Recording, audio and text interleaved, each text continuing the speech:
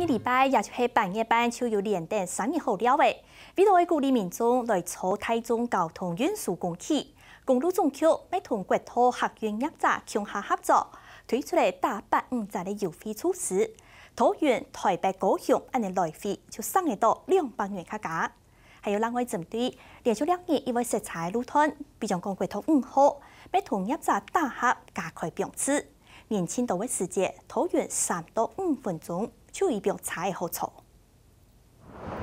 当年半夜班连续两年，龟头总系会有一道爱转家乡的车的，比如加强半夜班连续假期疏运。交通部公路总局对今年二十一到今年二十四，同时五间龟头客运业者合作提出票价百五十的优惠，桃园特别到高雄票价至少上一到一百元，会同民众上线。我们总共有提供呃。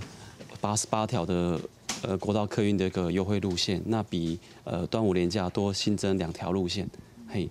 那平均的一个优惠折扣大概是八五折左右。唔但将龟头客运票价有优惠，所以坐台铁、高铁也系龟头客运，这个盘查错彩铁客运，除非有基本离场，也系一团票唔四千。那系共用天字票证没有半价优惠，今年特别是每条一百降廿四时。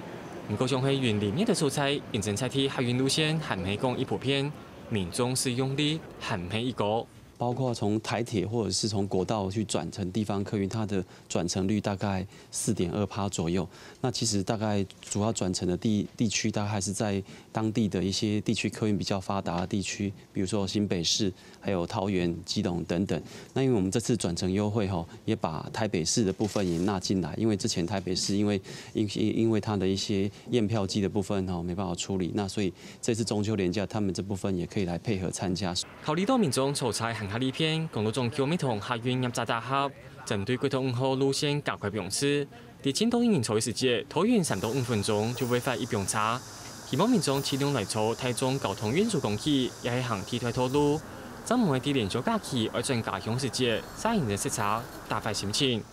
下个新闻请准成做，提波图。